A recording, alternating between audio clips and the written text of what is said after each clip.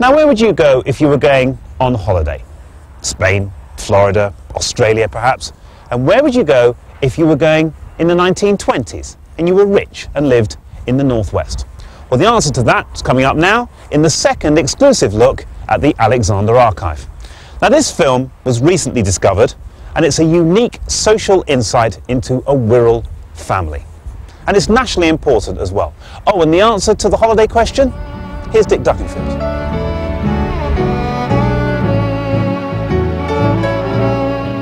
Well, the answer is Trearddur Bay in Anglesey.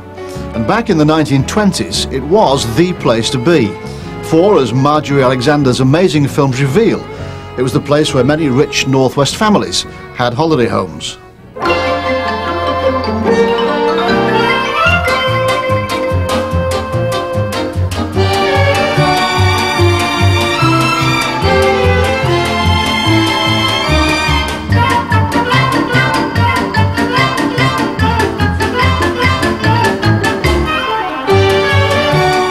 This was the place Marjorie loved to come and film with the cine camera she'd bought in 1919. Marjorie, who lived a life of wealth and privilege at Heswall and Wirral, recorded many magical moments from history, but her favourite times were filming the Alexander family at play on Anglesey.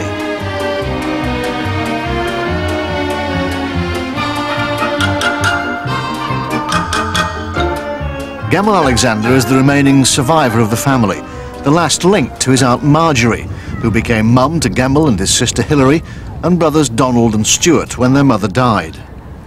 I took Gemmill to relive a favourite part of his past at Trearddur Bay, after I discovered his old sailing boat was due to be in a race later that day. He hadn't seen the boat called Dot for 60 years. That was the last boat we had, and got it into a really good sailing boat. It was in terrible shape when we got it. It's a very old boat. Well, the previous owners had just gone on painting it and painting it and painting it without ever scraping it off and getting a, a proper new coat of paint on it. It was, oh, it, it, it doubled its speed. It made an old hulk that was just floating round into a, a racing boat. Everybody got a shock when the old boat that we, that we had as youngsters suddenly started winning all the races, first or second every time. It had always been last or next to last quite an exciting thing to do that as youngsters, to take an old boat and get into the front line of racing. The Alexanders had a holiday home at Trearddur.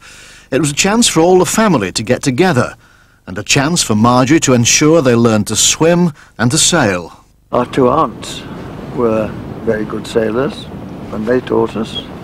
And uh, my father, although he couldn't move about in a boat properly with a stiff leg, two fishermen on the, who lived here, the Roberts brothers. They helped us in every way with our sailing, fishing, um, really getting familiar with the sea in every way. Marjorie had another reason to come to Trearddur Bay. Gemmill and his brothers began the early part of their education at a boarding school here. For the boys it was an exciting outdoor life, and the emphasis was on games.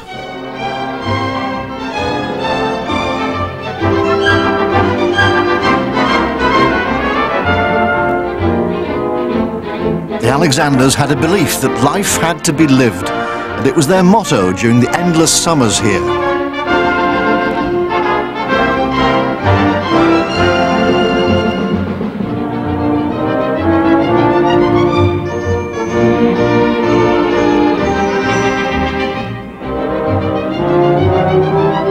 This was my second home in my childhood because I was at school here and a boarding school. So I spent a lot of my life here, and I knew the locals. There weren't many of them, and I knew them all. And they knew me. We were on good terms. For the wealthy Alexanders, life was like a page from the Swallows and Amazons book. There were frequent expeditions for picnics, organised and filmed by Marjorie. But this is one of the rare times Marjorie ever let someone else use the camera. Nobody knows who took these shots of her as she makes her undignified way down a steep cliff to a favourite picnic haunt called Coppermine Creek on Anglesey. When we picnicked, we, we picnicked properly. We decided where we would go, how we would get there and back, and built up a vast supply of food and drink, and were quite prepared to haul it quite a distance. I mean, we weren't dismayed when the transport stopped and somebody said, we're going to picnic over there, over that mountain or over that sand dune or something, and we'd all go toting our biscuit baskets and bottles and things and settle down for a picnic.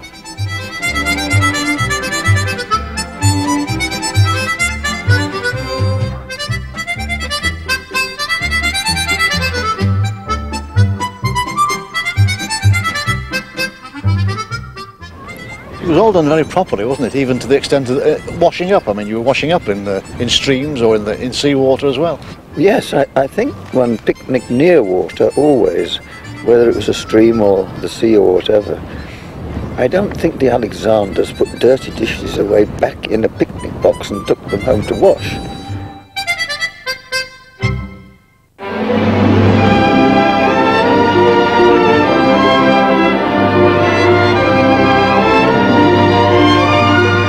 It's a moment Gemmell never thought he would ever see. His boat Dot has survived, and she looks as good as new.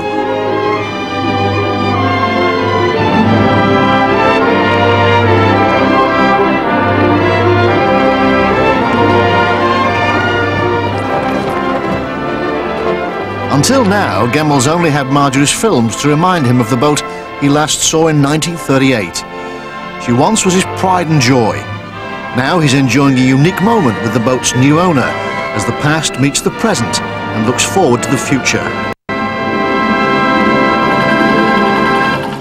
The Alexander Archive gives us a glimpse into a way of life not many of us have known.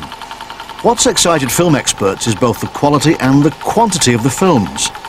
But if it had not been for the work of film collector Stef Bate and his team in preserving the films, we might never have heard of Marjorie Alexander. We've been working on and off for seven years on this, building and developing, recording, if you like, and researching the archive.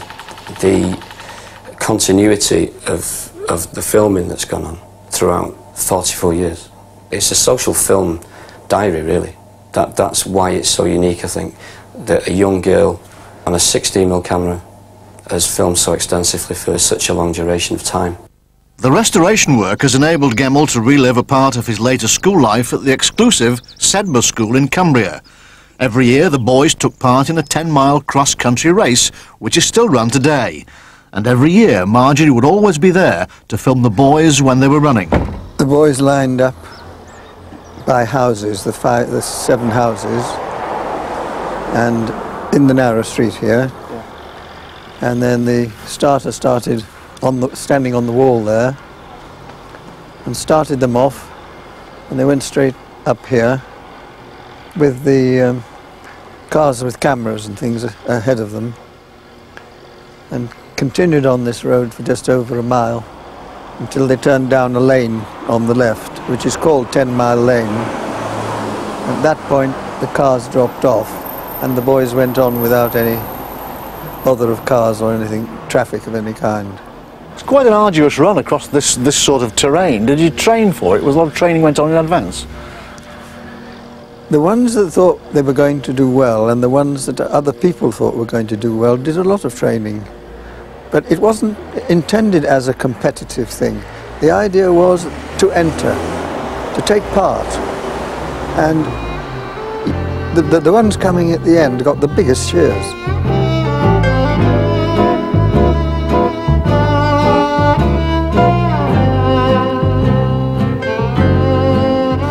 Miss Alexander, she um, she's not set out to go and develop a big film archive for every for us to all see now. That was not what her motivation was. So her motivation would have been completely driven by a, a great passion for this small camera and, and a great passion for, for these children and the lives of her family. Something that gave her pleasure and gave the family pleasure and is being developed to continue to give us pleasure and to give other people pleasure. It's would be wonderful for her.